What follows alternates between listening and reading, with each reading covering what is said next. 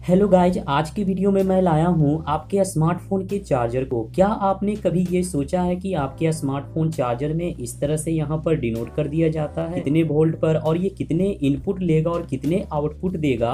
ये दोनों चार्जर में आपको देखने को मिल जाता है। तो आज की वीडियो में आपको इसी के बारे में जानकारी मिलेगी। आप मेरे साथ इस वीडियो के लास्ट तक बने रहें। अभी तक आपने मेरे चैनल को सब्सक्राइब नहीं किया के लिए मेरे चैनल को सब्सक्राइब कर लें, बेल आइकन ऑल पर क्लिक कर दें ऐसे ही इंटरेस्टिंग वीडियो पाने के लिए। रियलमी का स्मार्टफ़ोन का चार्जर है और एक श्यामी का स्मार्टफ़ोन का चार्जर है। तो ये दोनों जो एडोप्टर है, यहाँ पर मैं आपको दिखाऊँगा। रियलमी एडोप्टर में आपको नंबर है। यहाँ पर इनपुट जो दिया हुआ है 100 वोल्ट से लेकर के 240 वोल्ट तक। अब देखें, अगर आप इस 100 वोल्ट देते हैं 240 वोल्ट के बीच में तो आपका ये चार्जर बिल्कुल सही से वर्क करेगा। और 50 से लेके 60 हर्ट्ज जैसे कि हमारे इंडिया में 50 हर्ट्ज होते हैं तो ये आपका 50 हर्ट्ज फ्रीक्वेंसी पर चलेगा। उसको एम्पियर लेगा, वो 0.4 एम्पियर लेगा। यानी मिली एम्पियर में ये पावर को कंज्यूम करता है। इसके बाद ये आउटपुट जो देता है, ये फाइव वोल्ट देगा और उसके बाद डीसी जो है वो आपको टू एम्पियर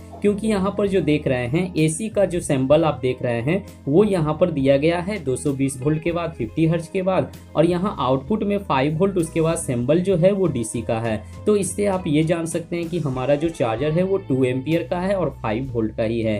एक एम्पियर का भी होता है बट उसमें भी देख सकते हैं, जो है इसमें भी आउटपुट आपको फाइव वोल्ट दे रहा है और ये वन एम्पियर है। तो इसका आप यूज़ करेंगे वन एम्पियर के लिए और इसका आप यूज़ करेंगे टू एम्पियर के लिए। तो इस तरह से कुछ डिटेल यहाँ दे दिया जाता है। यहाँ जो सीरियल नंबर दिया गया है और ये मेड इन इंडिया। यानी कि इसका निर्माण जो हुआ है मेड इन इंडिया, यानी कि हमारे भारत में ही इसका निर्माण हुआ है। तो इस तरह से आप डिटेल जान गए। अब इसे चार्जिंग पर कैसे लगाना है, वो आप चार्ज पर खुद ही लगा लेते हैं। बट इसमें प्रॉब्लम क्या होता है कि जैसे कि आपका स्मार्टफ़ोन टू एम्पियर है और आपको चार्जर भी टू एम्पियर मिला है, बट कभी कभी ऐसा सिचुएशन आता है जिसमें आप क्या करते हैं कि अपने स्मार्टफ़ोन जो टू एम्पियर का है, उसे आप एक एम्पियर पर चार्ज कर देते हैं। तो वैसे में आपका चार्जर भी खराब होगा और आपका सेलफोन भी चार्ज नहीं लेगा, क्योंकि उसे चार्ज करने के लिए टू एम्पियर की पावर चाहिए बट वो कंज्यूम नहीं कर पाएगा, जिसके कारण इसका पीसीबी बोर्ड होता है आपके स्मार्टफ़ोन पर, वो जल्दी ही खराब हो जाता है और आपका चार्जर भी खराब हो जाएगा,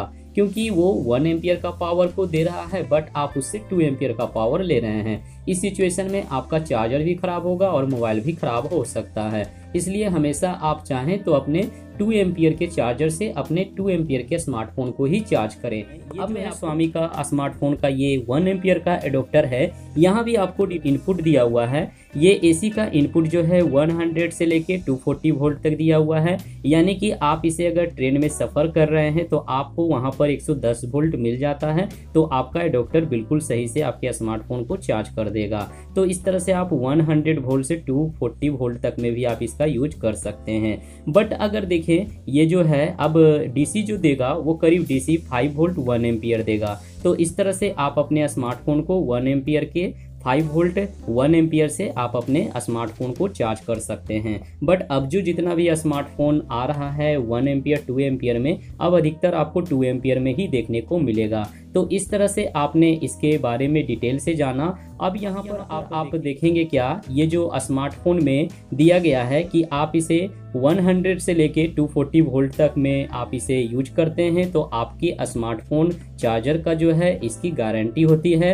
बट आप इसे अगर 100 वोल्ट से कम में देते हैं तो आपका मोबाइल फ़ोन चार्जिंग होना वो थोड़ा सा डीपली ऑफ़ ऑन होना शुरू हो जाएगा और उसमें आपका चार्जर ख़राब हो सकता है। आप अगर 240 वोल्ट से ज़्यादा देते हैं, उसमें भी आपका एडोप्टर सही से वर्क नहीं करेगा, उसमें भी कोई कंपोनेंट जो है वो ब्रेक हो सकता है, जिससे आपका चार्जर देखें कि आपका एडोप्टर बहुत जल्द कभी कभी ख़राब देखने को मिलता है, कैसे कंडीशन में? तो आप देखते हैं कि आप अपने स्मार्टफ़ोन को लाइन में इन कर दिए हैं। सेलफोन आपका चार्ज हो चुका है। आपका स्मार्टफ़ोन जब चार्ज हो जाता है तो आप अपने चार्जर को लाइन में इन करके छोड़ देते हैं और उसमें स्विच दे करके छोड़ देते हैं। वैसे कंडीशन में आपका चार्जर जो है, वो खराब हो जाएगा क्योंकि वो वन एम्पियर या फिर टू एम्पियर का लोड वो आउटपुट देता रहता है, उस पर लोड ना होने के कारण उसका आईसी जो है, वो अधिकतर ऐसे कंडीशन में ब्रेक हो जाता है, जिससे आपका आईसी ब्रेक होने के बाद आपका चार्जर नहीं बन पाता है। तो ये प्रॉब्लम हो सकती है। तो इस तरह से आपने आज के वीडियो में आपके स्मार्टफ़ोन चार्जर में इस तरह से क्यों डिनोट कर दिया जाता है कि आपको 100 से लेके 240 वोल्ट तक में ही सही से वर्क करता है।